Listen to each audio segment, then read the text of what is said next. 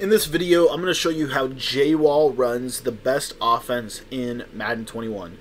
What's up guys, my name is Cody and I want to thank you for taking the time to watch today's YouTube video. Now if you're brand new to the channel and you don't know what we do here, basically what I do is every single day I break down how you can become a better Madden player through offense and defensive tips, learning from the pros, and giving you strategies that are really really easy to apply that can help you become a better player. So if you want to go ahead and click the subscribe button, we upload videos every single day. We typically upload, upload about eight different tips every day to help you get better. So make sure to subscribe so you don't miss any of those videos.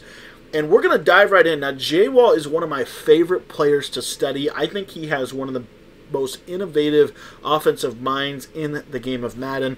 One of the things that I really respect about him, and this is just my you can you can kind of have your preferred players to study, but I think the way J Wall runs trips tight end is super super high level and super super effective. So we're going to dive right into a couple of his favorite setups. Now he played chigs and he also played poison. One of my subscribers actually messaged me a couple of uh, weeks ago and he said that poison has the best defense in madden 21 and if you actually go watch the game that j-wall played against Poison, you'll notice that J-Wall actually moved the ball really, really well against Poison's uh, 245 double A gap style of pressure uh, defense. So, anyways, we're just going to dive right in here. We're going to probably watch a couple more clips here from this, and this was his touchdown play. Uh, let me back up here. If you watch this, um, watch this route to. Um, triangle on the left side. This was kind of one of his favorite plays, and this was primarily for one step ahead. So I'm going to jump into practice mode and kind of break down a couple of the things that I noticed that he was doing. Uh, so first and foremost, we're just going to use um, we're just going to use this 335 uh, and we're going to use cover two man because it's kind of it's the same coverage. It's just from two four five double A gap. And the play that J-Wall was running was this play right here, PA shot post. This was kind of his go-to. This was his money play man beater, um, where he was able to call this typically against any man coverage and have a lot of success.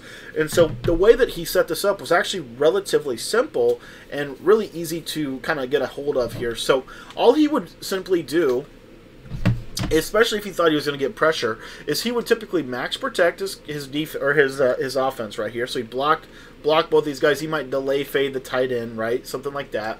And then what he would do is he would take his Scotty Miller and he would put him on a stop and go, and he would smart route the route so it goes really really short.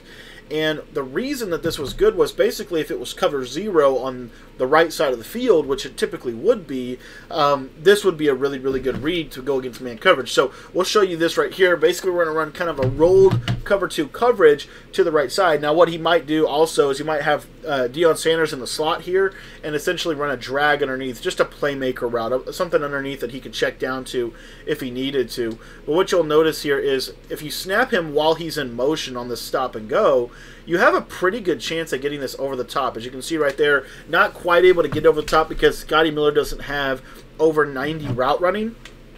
But if Scotty Miller had over 90 route running, you would see that this would beat one step ahead. Why? Because double moves, as a general rule, double moves will, will actually do pretty good uh, against one step ahead. So you'll see this again here.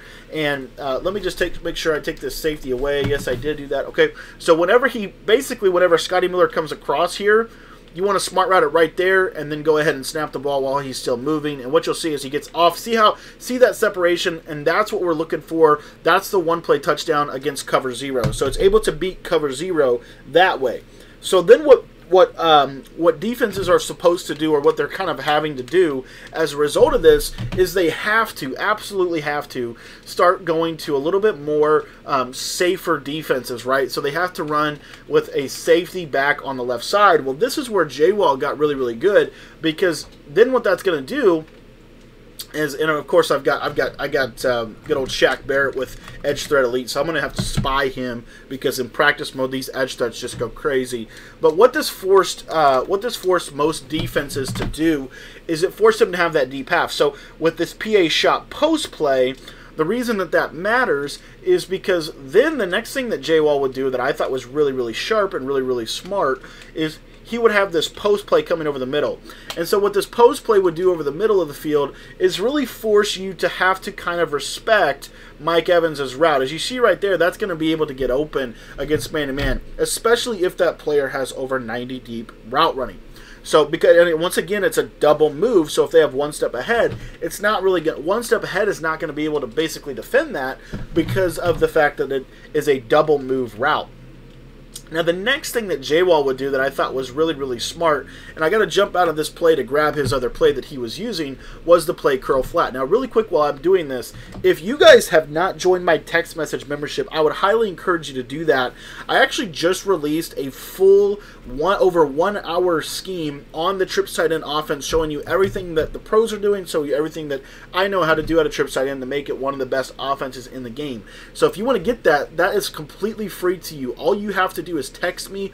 My phone number is 812-216-3644. Okay, so make sure to text in so that you get that video.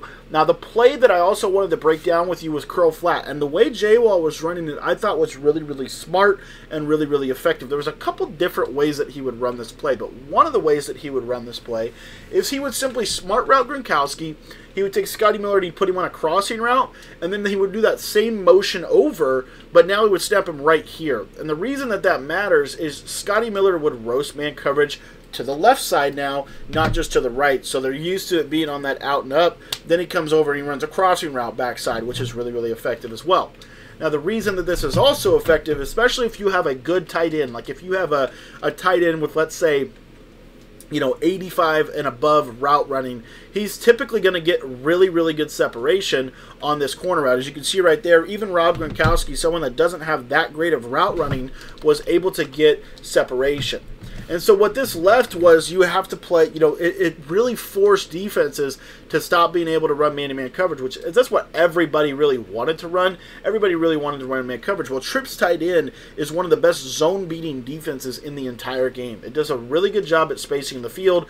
There are so many things that this offense can provide you in terms of spacing the field properly that most offenses don't have that ability and this is why this curl flat play is such a powerful uh, such a powerful play as you see right there. You have a pretty good chance of getting that over most of the zone drops. So J Wall those are just a couple of excerpts right? Another one really quickly that I did want to break down while I have uh, a chance to is this little play right here. This is two drags and a crossing route over the top.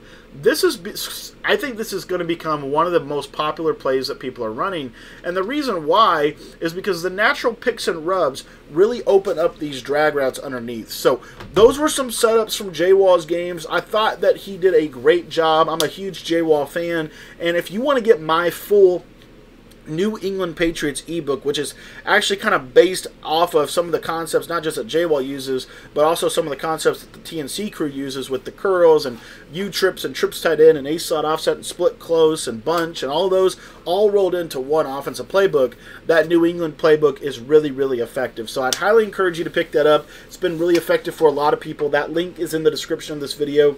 And just a quick reminder, we will be streaming tonight at 10 o'clock p.m. Eastern Time. So make sure to come by, check out the stream. And last thing is if you want to get that full trips tight end offense, it also serves as a sample to the New England playbook. So shoot me a text message. My phone number is 812 216 3644. It's also in the description. Shoot me a text. Let me know you'd like to receive that video, and I'll shoot you a link with the playlist. We have other videos, obviously, than just the trips tight end in that playlist because we break down a new scheme every single week for our text message crews, and it's completely free to you guys. So make sure to text me. Again, my number's in the description. It's also at the top left hand corner of your screen. Thanks for watching. I hope you enjoyed Jay Wall's offense.